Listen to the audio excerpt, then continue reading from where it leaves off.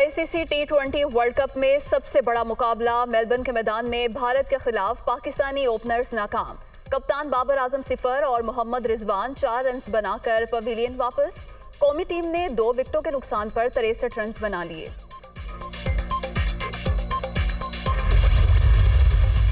Super 12 round Pak Bharat match के लिए Melbourne cricket ground में पाकिस्तानी फैंस पुरजोश। स्टेडियम में पाकिस्तान जिंदाबाद के नारे।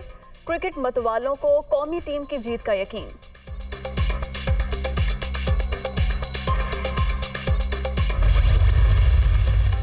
ICC T twenty World Cup super 12 round Sri Lanka ने आयरलैंड को नौ विकेटों से शिकस्त दे दी। आइलैंडर्स ने एक रन का हदफ पंद्रहवें ओवर में हासिल कर लिया।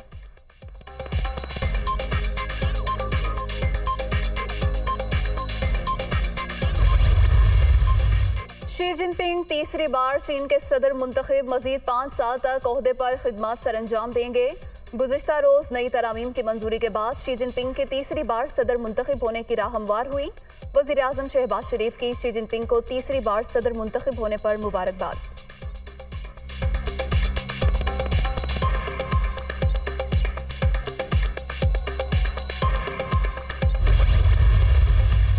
तोशा खाना केस में नाहली इमरान खान की इलेक्शन कमीशन के फैसले के खिलाफ दरख्वास्त की कल इस्लामाबाद हाईकोर्ट में समात चेयरमैन पीटीआई की नहली का फैसला कलदम करार देने की इस्तदा।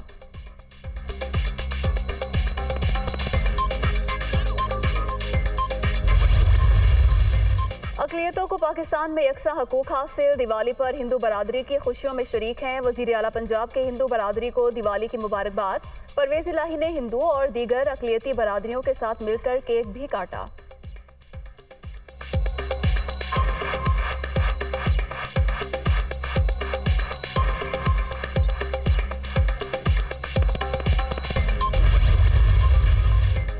पंजाब असम्बली का इकतालीसवां इजलास चार माह के तवील अरसे के बाद गैर मुना मुद्दत के लिए मुलतवी। नई रेकोजिशन पर स्पीकर सिप्तैन खान ने बयालीसवां इजलास।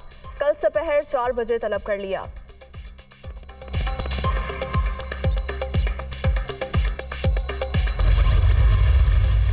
Dengue out of control, Lahore में मुहलिक वायरस से मजीद दो अफराद दम तोड़ गए। पंजाब में 24 घंटों के दौरान नए दो सौ अठानवे केसेज रिपोर्ट। खैबर पख्तूनख्वा में भी मजीद दो सौ पचहत्तर मरीज़, सिंध में मजीद दो सौ चौंतीस अफराद वायरस का शिकार।